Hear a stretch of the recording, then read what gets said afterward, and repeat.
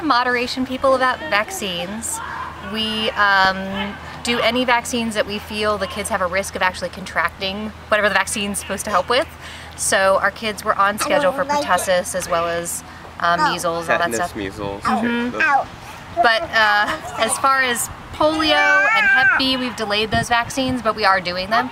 And you know, it's basically a philosophy of moderation. I think um, we're not. We did have a little bit of concern about the preservatives and the mercury in the vaccines, but we've read up, read up on the research on that, and it's definitely reduced our level of concern. Sure. Yeah, we have a friend who actually kept coughing and coughing and was really sick, an adult friend. And we uh, sort of thought, well, um, they called us because they were supposed to come over and hang out, and they said, well, we're concerned about coming over. Do you want to talk to somebody? Should we come over? And we called our doctor, and he said, actually, I'm more worried about you guys because you haven't had the adult booster. So um, we decided to uh, have her not come over at the time for us, but not for her. So I guess we probably are due for the adult booster shot ourselves. But the kids are all up to date and healthy, and uh, so far whooping free.